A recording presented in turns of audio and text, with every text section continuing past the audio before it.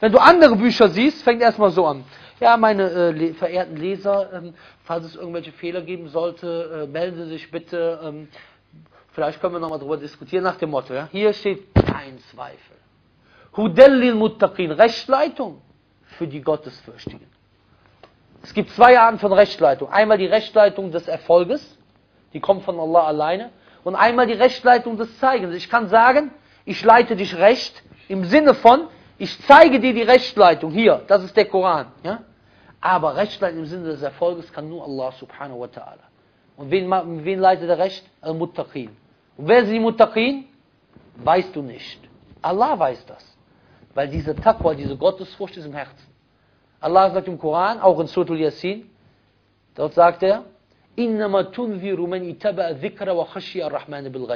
Du kannst nur denjenigen warnen, der der Ermahnung folgt und den Allerbarmer im Verborgenen fürchtet.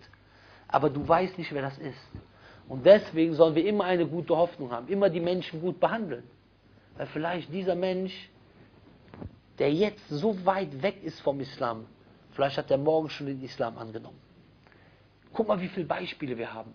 Guck mal, in der Zeit des Propheten, wassalam, Umar al-Khattab, radiallahu anhu, guck mal, er war ein Mann weit weg vom Islam und dann hat er auf einmal den Islam angenommen und verteidigt. Khalid ibn al-Walid, so viele Beispiele, die den Islam bekämpft haben und dann zum Islam gekommen sind. So viele Beispiele von denen, die auf den richtigen Weg gekommen sind. Deswegen sollen wir, fällt mir manchmal auch schwer, wenn man so Leute sieht, ja, die den Islam beschimpfen und so weiter. Aber wir dürfen nicht ausflippen.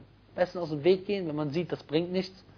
Aber Allah leitet ihre Herzen recht. Allah dreht die Herzen, wie er will. Manchmal jemand, von dem du es niemals erwartet hättest, der nimmt auf einmal den Islam an. Subhanallah. Und deswegen sollen wir nie die Hoffnung aufgeben. Hudallil Muttaqin.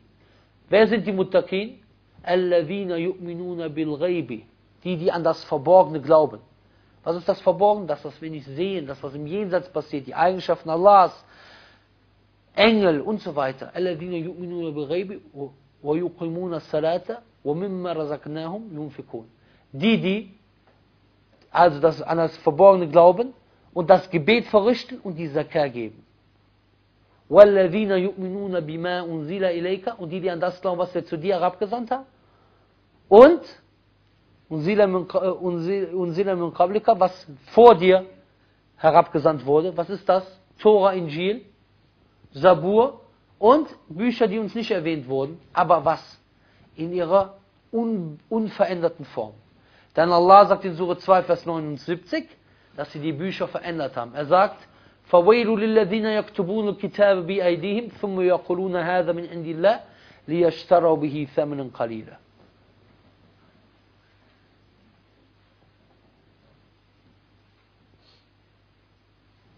Und dann sagt er, وَبِالْآخِرَةِ هُمْ Yuqinun, Yuqinun. Ich weiß nicht, Muqinun oder Yuqinun, Yuqinun. Und bei dem Achira, bei dem Jenseits haben sie Gewissheit. Sie haben Gewissheit auf das Jenseits. Kein Zweifel. Die Dinge, die passieren. Und das ist eine wichtige Eigenschaft der Gläubigen.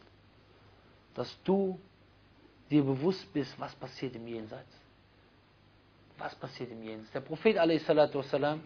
der sagt, das Paradies ist jedem so nah wie seine Schnürsenkel und das Jannah ist jedem, und das, die Höllenfeuer ist jedem so nah wie seine Schnürsenkel.